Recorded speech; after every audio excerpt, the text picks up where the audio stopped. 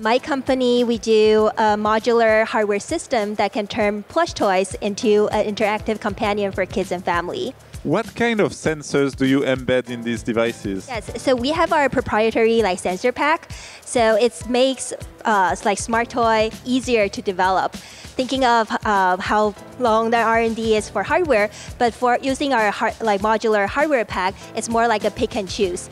And Octobo is our first product that implemented all of our sensors in, but we are also uh, exploring a B2B model that we can make characters for other companies. So you could imagine smaller uh, devices with less sensors, for instance? Exactly. Like this is for tablets, but we're also looking into a concept that we can implement phones in it.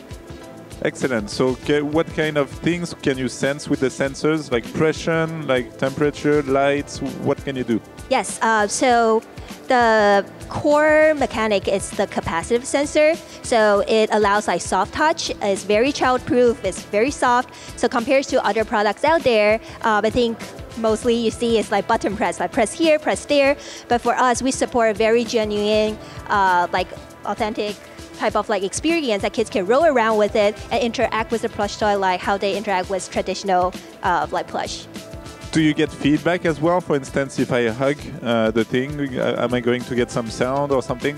Exactly. Um, so Octobo actually powered uh, by uh, your own tablet. So you know, um, there's the speaker that uh, like uh, from the tablet. You can also uh, connect to your Bluetooth speaker, and also it's an app. So as a developer, we develop multiple like content, um, like feedbacks, like animation. So uh, it's really like limitless. Like it just uh, like depends on how the designer developer wants to use for Octobo.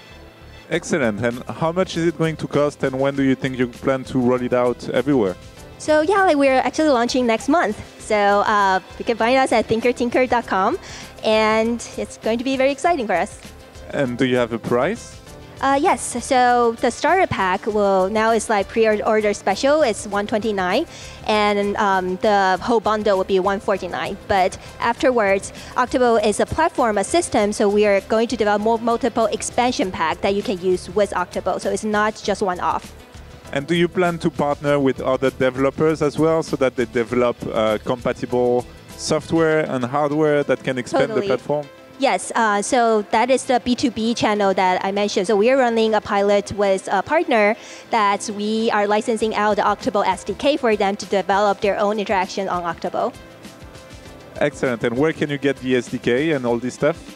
Uh, you can contact us at uh, hello at playoctobo.com or on thinkertinker.com, our website.